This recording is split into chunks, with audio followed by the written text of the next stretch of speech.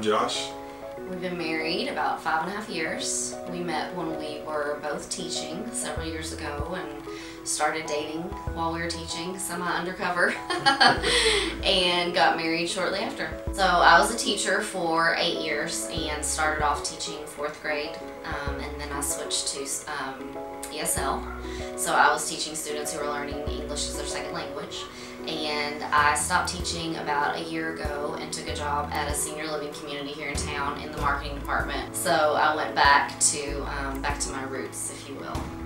Uh, I taught elementary special ed and then moved into assistant principal for a little time. On the outside of that, I've always been into remodeling and the housing market and buying and selling property and just kind of had this passion that grew and grew into real estate. And so two years ago, I took a leap of faith and started my own real estate business uh, with a partner.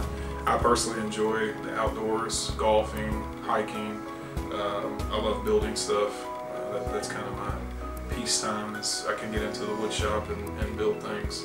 I like to exercise and be outside and go for runs and recently I've started a blog and have tried to offer some free adoption consultation for people who are starting the adoption process but don't really know where to start and so just some opinions and advice and things about our personal journey so far to kind of get them started on the right foot.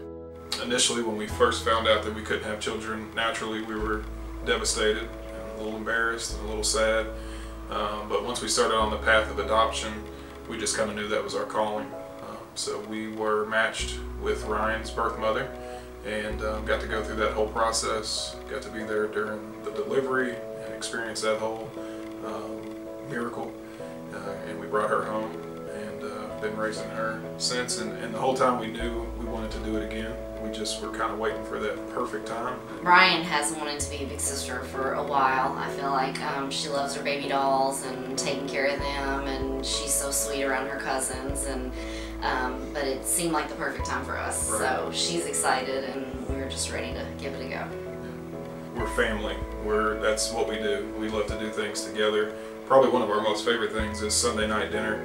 We go to Lauren's parents' house basically every Sunday, and her dad uh, cooks for us, and we all just kind of gather around the table and just spend time together. And we just feel very blessed that we have both sides of our family here in town. We get to see them often, and Ryan is close with all her cousins and grandparents, great grandparents, and that's just been a huge blessing to us. And they have all been so incredibly supportive of the adoption. We're looking to add that again. Uh, we, we know that there's a lot more love between our family, our immediate family, and our outside family, and our friends.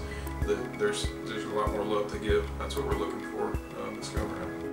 We also want to take this opportunity to thank you um, for even considering us um, to raise your child. We can promise you one thing that you will never have to doubt is how loved this child will be, and we're just incredibly thankful and humbled and never have to worry about how taken care of this child will be and loved because that, that that's not a question. I would just want to say thank you for even thinking of us uh, as a possibility of somebody that you would trust in raising a child that you carry.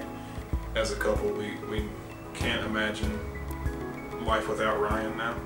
And uh, we talk every night about the, the next step, the what ifs and the ifs and the can you imagine? And um, we want you to be part of that story. And we're just so grateful that, that you may decide that, that we're the family for you.